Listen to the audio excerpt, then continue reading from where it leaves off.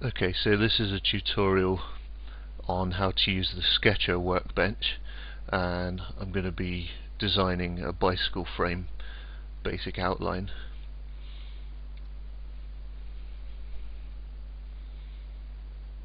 So, uh, where are we? So I'm using version 0.12 of FreeCAD and you can easily get um, the uh, you can download FreeCAD from their website. If you click on more options there, there's options to add PPAs of the latest. Uh, there's daily builds, things like that. So, as I say, we're designing a bike frame. Um, I've picked on Ragley bikes because quite like them. I quite like the piglet. Um, there's a picture of it there. It's a nice frame.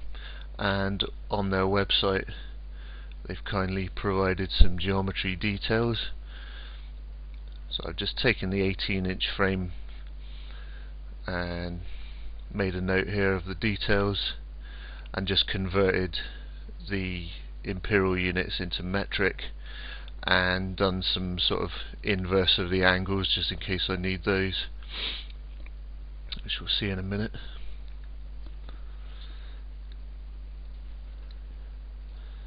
Okay so in FreeCAD I'm just going to start a new file. Make sure you're in the part design workbench. And in tasks we click create sketch. Keep it to the XY plane turn the grid on. I'll turn auto constraints off because as you'll see in a minute I don't want to auto constrain it. I'm going to add my own constraints. And we'll filter all, all the constraints so they all show up in this window.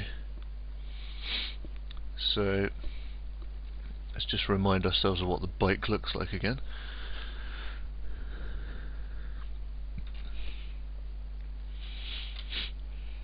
So yeah we got the seat tube, head tube, down tube, top tube, um, seat stay, chain stay. That's the basic construction. So I'm going to choose create a line in the sketch. I'm just going to really roughly sketch it out. Doesn't matter at this stage because all the work is done with the constraints. So the aim is, it says here in this solver, um, it does some calculations, tries to solve the model. At the moment we have 24 degrees of freedom, so there's 24 different uh, movements, degrees of freedom we can have. So we need to try and constrain that down until we have zero. And this is where it gets quite fun because FreeCAD tries to calculate each time you apply constraints and it doesn't always get it right because it's still in development. It can be a bit frustrating sometimes but we'll see how we get on. So coincident constraint. Um, we know the seat angle and the head angle. So I just click on the seat tube fix the angle. That fixes it relative to the x-axis. I double click on the constraint to edit it and I want minus I should do that do the same with the head angle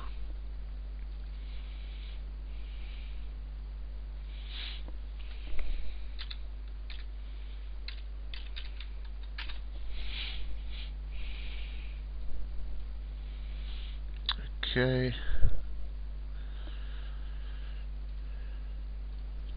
Some coincident constraints.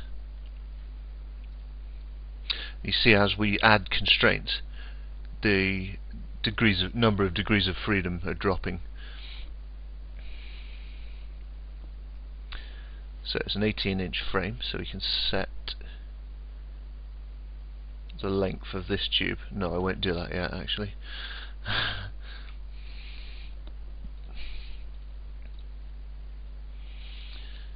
uh, if I want to fix a point to a line or an object, let's use that.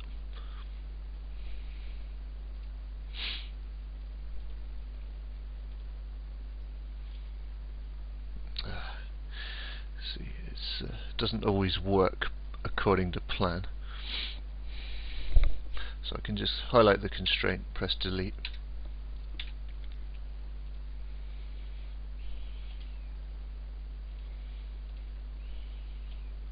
There we go. I just want to leave a little bit showing here because that's what we've got on the actual bike.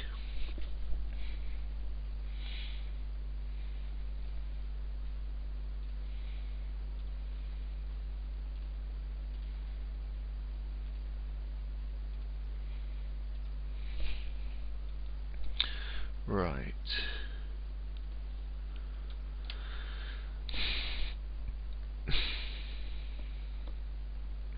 So the definition of bottom bracket drop is the distance between the center here and the bottom bracket uh, vertically.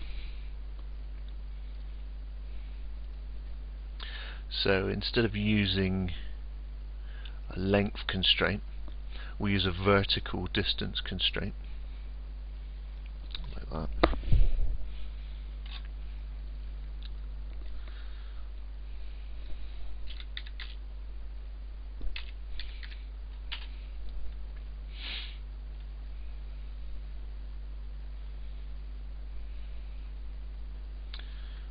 Okay.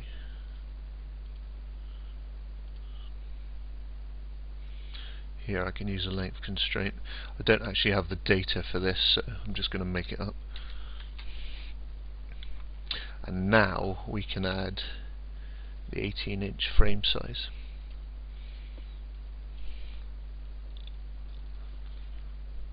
So that's 457.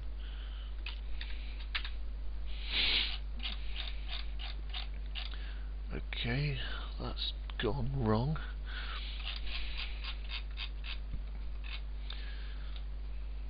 Won't do that one yet then. We'll set the chainstay length.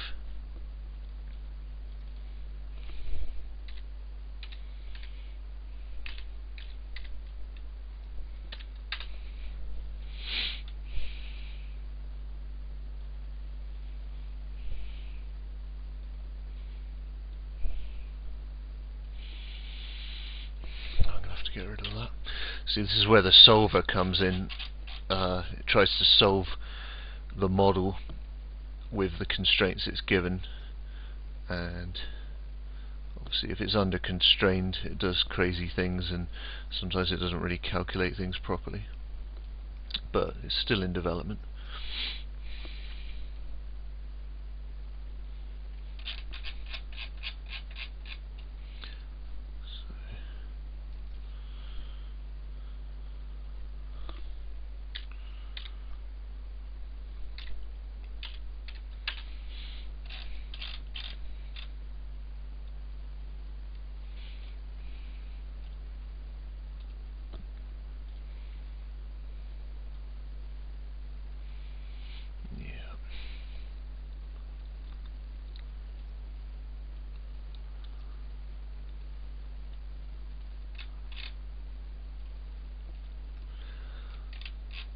Okay, we're getting there.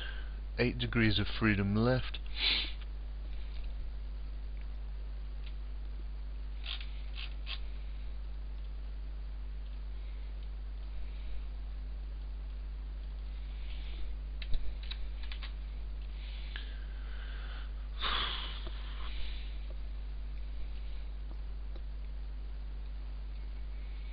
So again I don't have the data for this so I'm going to make it up just call that 5 mil.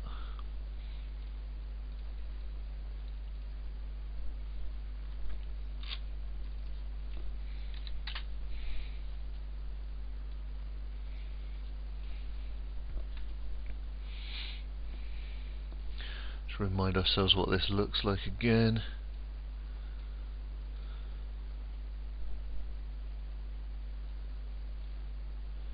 So we're getting there.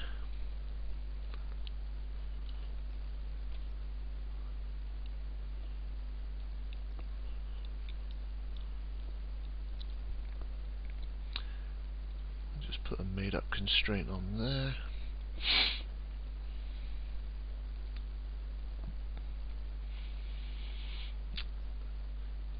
So if I click and drag things around, you can see that the solver is constantly trying to solve it. And, and it, also you can get an idea of your degrees of freedom. So which which objects don't have aren't properly constrained. So the angle of this isn't constrained. So we can fix that. that leaves us with three degrees of freedom. We need to know the height of the bottom bracket and that's defined as 314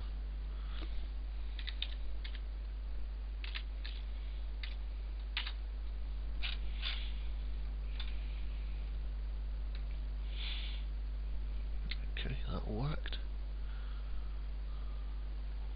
ah yeah, and we need the effective top tube length, which is defined horizontally.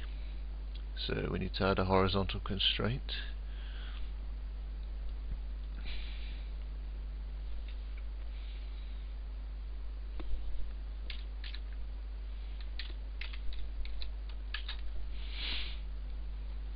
One degree of freedom left.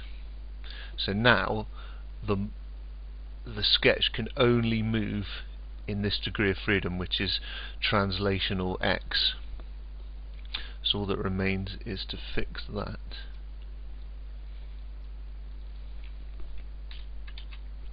And you see the sketch is now turned green and it says fully constrained sketch. So that's it basically, brief introduction to the sketch workbench and constraints.